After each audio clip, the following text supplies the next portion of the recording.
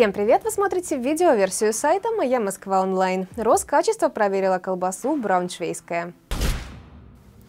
Как сообщает РИА Новости, в продукции эксперты обнаружили превышение содержания пищевых добавок Е251 и Е252. Согласно экспертизам, превышение было выявлено в пяти образцах торговой марки. По словам специалистов, согласно тех регламенту, содержание этих добавок не должно превышать 250 мг на килограмм.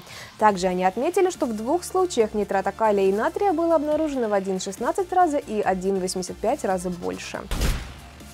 На этом пока все. Больше новостей на сайте mymsk.online. До скорого!